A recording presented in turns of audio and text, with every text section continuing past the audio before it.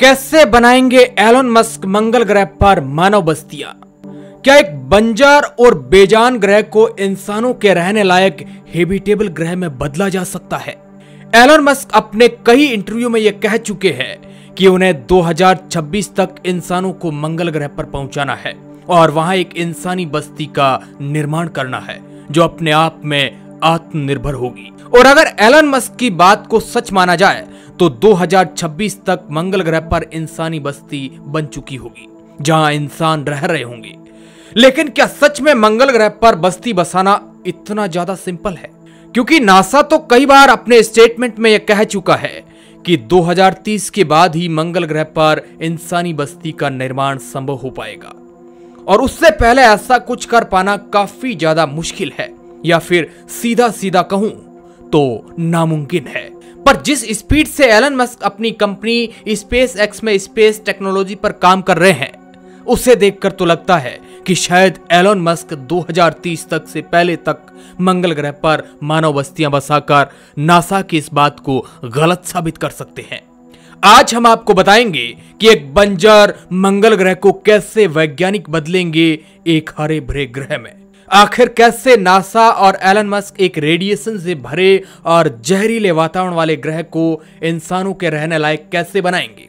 तो आप आज इस वीडियो के अंत तक ज़रूर बने रहना। बात कुछ जानने को मिलेगा आपको। तो चलिए चलते हैं मंगल ग्रह की भयानक दुनिया में।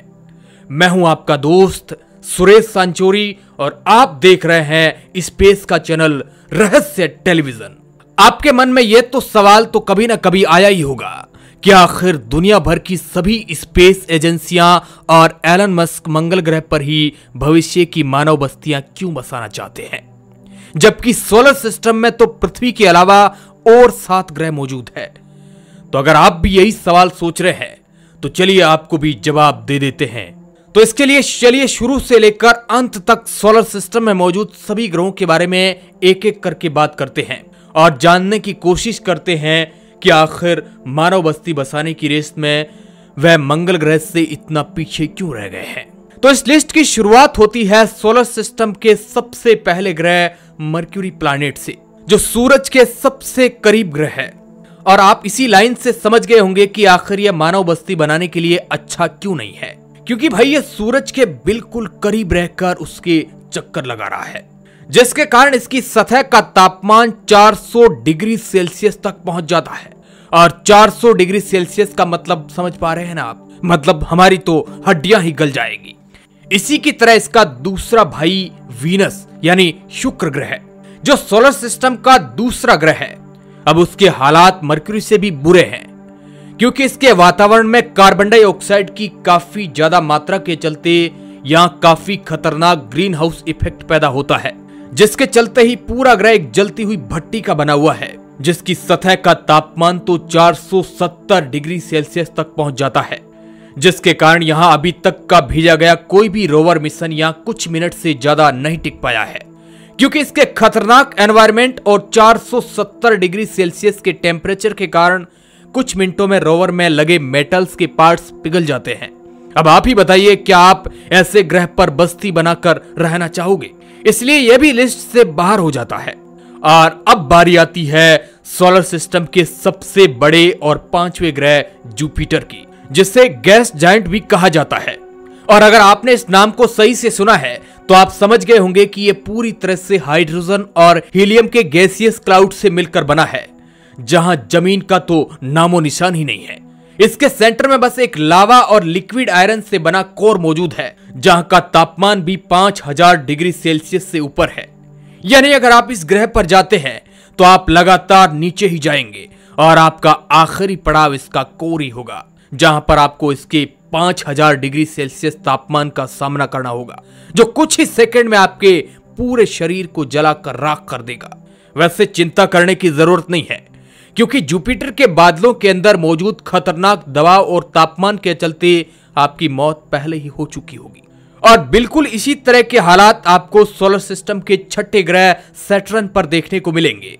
क्योंकि यह भी एक गैस जाइंट है। इसलिए अब बात करते हैं सोलर सिस्टम में आखिर में मौजूद यूरेनस और नेपच्यून की। तो दोस्तों, इनको मानव बस्ती बनाने के लिए इसलिए कंसीडर नहीं किया जा सकता, क्योंकि इनका 90 प्रतिशत हिस्सा अमोनिया, मीथेन और पानी से बना है। और यहाँ भी जुपिटर और सैटर्न की तरह सरफेस नाम की कोई चीज़ ही नहीं है। यानी यहाँ कोई ज़मीन नहीं है। इसलिए यहाँ पर किसी तरह की मानव बस्ती बसा पाना इम्पॉसिबल है। तो अब पूरे सोलर सिस्टम में केवल एक ही ग्रह बचा, जो वैसे तो इंसानों के रहने लायक नहीं है, लेकिन वह इन सभी ग्रहों से कई लाख गुना बेटर है। और सबसे बड़ी बात वैज्ञानिकों को यकीन है कि भविष्य में मंगल ग्रह को पृथ्वी की तरह इंसानों के रहने लायक बनाया जा सकता है। और सिर्फ़ इसी कारण पूरी दुनिया और एलन मस्क मंगल ग्रह पर मानव बस्ती बसाने की कोशिश में लगे हैं। पर यह इतना भी आसान होने वाला नहीं है। खासकर अभी की टेक्नोलॉजी के साथ तो बिल्कुल भी नहीं। क्योंकि अभी हमारे पास ऐसे स्पेसक्राफ्ट भी नहीं है, जो हमें अंतरिक्ष के लंबे सफ़र को तय करते हुए सुरक्षित मंगल ग्रह तक पहुँचा सके। तो ऐसे में मंगल ग्रह पर बस्तियाँ कैसे बनाएँगे? तो चलिए जानते हैं आखिर कैसे वैज्ञानिक मंगल ग्रह को इंसानों के रहने लायक बनाएँगे। मंगल ग्रह पर रिसर्च की शुरुआत उन्नीस से शुरू हुई। क्योंकि यही वह साल था जब पहली बार मंगल की सतह पर कोई इंसानी रोवर उतरा था। इस रोवर का नाम था मार्स पाथ फाइंडर जिसे दिसंबर 4 उन्नीस को लॉन्च किया गया और करीब एक साल के लंबे सफ़र के बाद ये 4 जुलाई उन्नीस में मंगल ग्रह की सतह पर पहुँचा था। वैसे तो ऐसे ही स्पेसक्राफ्ट ने मंगल ग्रह की नॉलेज को काफ़ी ज़्यादा बढ़ाया है, लेकिन मंगल ग्रह पर की जाने वाली रिसर्च में असली रिवोल्यूशन 31 जुलाई 2008 में देखने को मिला। क्योंकि यही वह पहला साल था जब फोनिक्स मार्स लैंडर की रिसर्च में इंसानों को मंगल ग्रह के पोल्स के नीचे बर्फ़ के रूप में जमे पानी के बारे में पता चला। और इसी रिसर्च में यह भी सामने आया कि मंगल ग्रह के पास अपना खुद का एक पतला वातावरण भी मौजूद है। और यही वो टर्निंग पॉइंट था जहाँ से मंगल ग्रह पर की जाने वाली नॉर्मल रिसर्च वहाँ पर भविष्य की मानव बस्ती बनाने की मिशन में बदल गई। क्योंकि अब वैज्ञानिकों को केवल मंगल ग्रह के बारे में जानकारी ही इकट्ठा नहीं करना था, बल्कि भविष्य में इस ग्रह की कमियों को दूर करते हुए इस पर इंसानी बस्ती को भी बसाना था।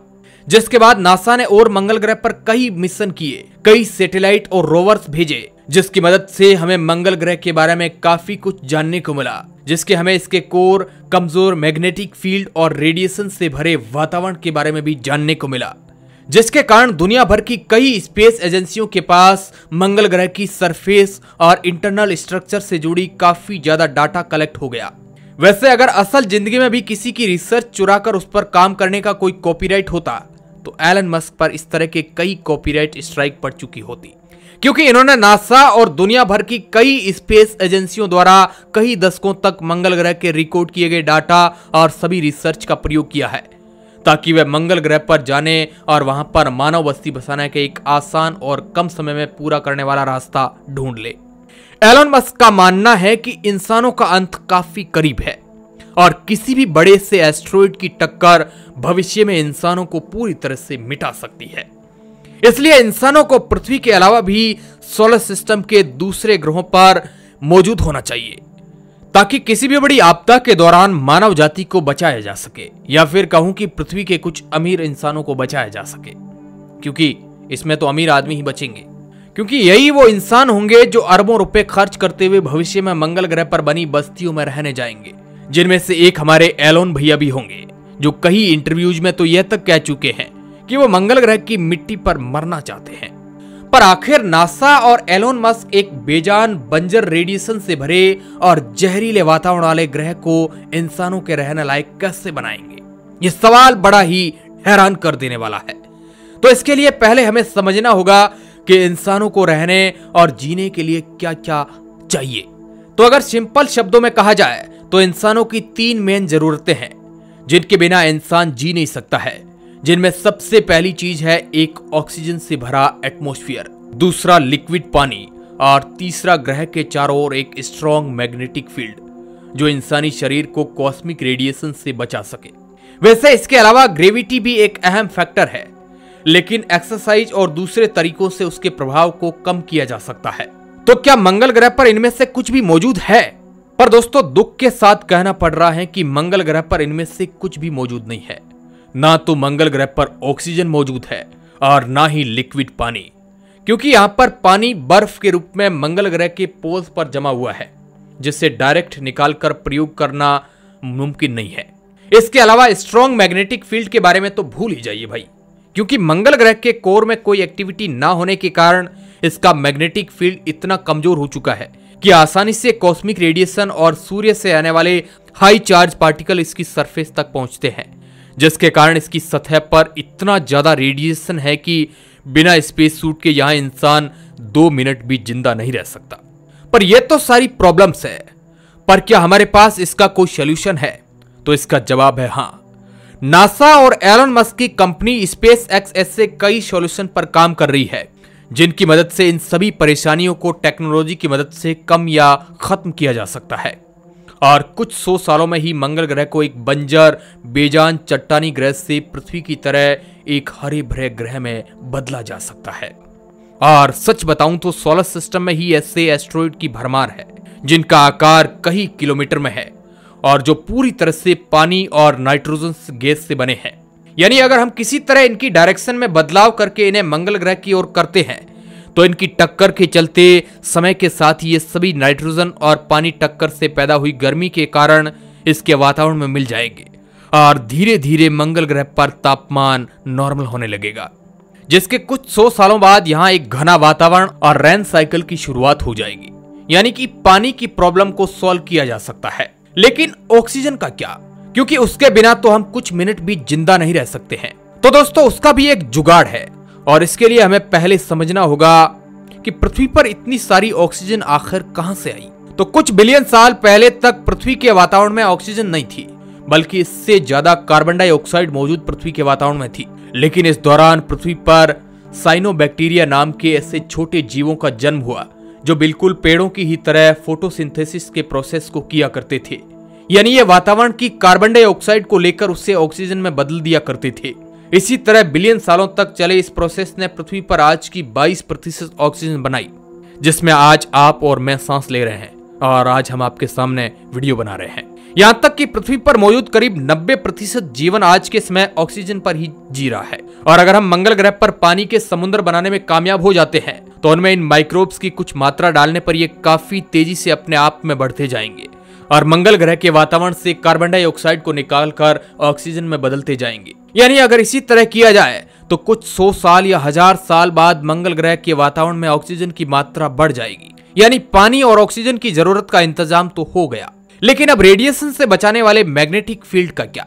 तो इसके लिए वैज्ञानिकों ने एक प्लान बनाया है, जिसमें वो कई बड़े सोलर सैटेलाइट को मंगल के लो ऑर्बिट में उसके दोनों पोल्स पर रखेंगे, जिनसे काफ़ी ज़्यादा स्ट्रॉन्ग इलेक्ट्रिक फ़ील्ड पैदा किया जाएगा। जिसके परिणाम स्वरूप पूरे ग्रह के चारों ओर एक मैग्नेटिक फ़ील्ड तैयार हो जाएगा, जो अंतरिक्ष के कॉस्मिक रेडिएशन और सूर्य से आने वाले हाई चार्ज पार्टिकल्स को मंगल ग्रह की सतह पर आने से रोकेगा। वैसे ये काफ़ी एडवांस टेक्नोलॉजी है और लगता नहीं है कि कुछ सौ साल या फिर हज़ार सालों से पहले इस तरह की टेक्नोलॉजी को इंसान बना पाएँगे। लेकिन अगर मंगल ग्रह को पृथ्वी की तरह बनाना है तो ऐसा करना ही होगा। लेकिन अगर हम इन सभी तीन चीज़ों को सक्सेसफुली करने में कामयाब हो जाते हैं तो यकीन मानिए मंगल और पृथ्वी में कुछ हज़ार साल बाद फ़र्क करना भी काफ़ी ज़्यादा मुश्किल हो जाएगा। और मंगल ग्रह भी पृथ्वी की तरह एक प्लेनेट बन जाएगा, जहाँ बड़े बड़े समंदर और जंगल मौजूद होंगे। पर जैसा कि मैंने कहा कि यह पूरा प्रोसेस काफ़ी लंबा है, जिसमें कुछ सौ साल से लेकर हज़ारों सालों का समय लग सकता है। पर अगर हम बात करें कि कुछ सौ सालों में मंगल ग्रह पर बनाई जाने वाली कॉलोनियों की तो दोस्तों, उनमें तो एस्ट्रोनॉट को स्पेस सूट पहनकर ही रहना होगा। पर कई वैज्ञानिकों का मानना है कि मंगल ग्रह पर कुछ सौ सालों तक रहने के बाद हम वहाँ पर ही ऐसे घरों का निर्माण कर पाएँगे, जो पूरी तरह से रेडिएशन प्रूफ होंगे और जहाँ के वातावरण में ऑक्सीजन भी मौजूद होगी। कहने का मतलब है कि साइंटिस्ट यहाँ मंगल ग्रह पर बनाए गए घरों को पूरी तरह से छोटे आर्टिफिशियल एनवायरनमेंट में बदल देंगे। जहाँ पर इंसान मंगल ग्रह के खतरनाक एनवायरमेंट से दूर बिना स्पेस सूट की भी रह सकेगा। बिल्कुल उसी तरह जैसे इंटरनेशनल स्पेस स्टेशन में एस्ट्रोनॉट के रहने के लिए एक आर्टिफिशियल एनवायरमेंट बनाया जाता है, जिसके कारण लगातार वैज्ञानिक ऐसी टेक्नोलॉजी डेवलप कर रहे हैं जो भविष्य में मंगल ग्रह पर बसाई जाने वाली बस्तियों में प्रयोग की जा सकती है। इसके अलावा भी कुछ समय पहले स्पेस एक्स ने अपने सबसे बड़े रॉकेट स्टारशिप के भी कई सक्सेसफुल टेस्ट किए हैं। जो स्पेस एक्स की ही नहीं, बल्कि दुनिया की सबसे बड़ी स्पेसशिप होने वाली है, जिनमें करीब 100 लोग एक साथ मंगल ग्रह की यात्रा कर सकेंगे।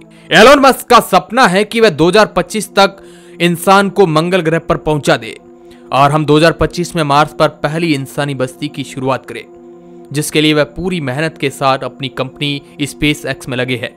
इसके अलावा नासा भी बहुत से ऐसे मिशन पर काम कर रही है। मतलब यहाँ तो कहावत ही उल्टी हो गई।